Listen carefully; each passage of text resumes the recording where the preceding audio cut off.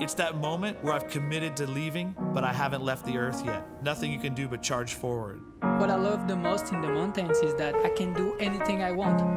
It's pure freedom. You know, there's always a bit of fear. If you don't have a little fear, you know, then you're a little crazy, I think.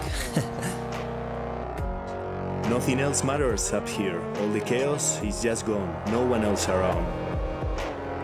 The moment my feet leave the earth, everything else disappears. Got my own monster. It's pure adrenaline.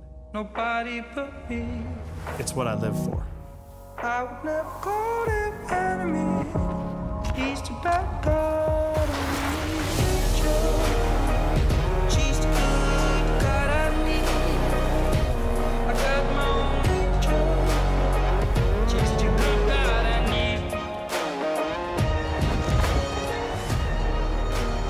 the mountain is your canvas, you know, you can paint your own picture. That's what the beauty of it is.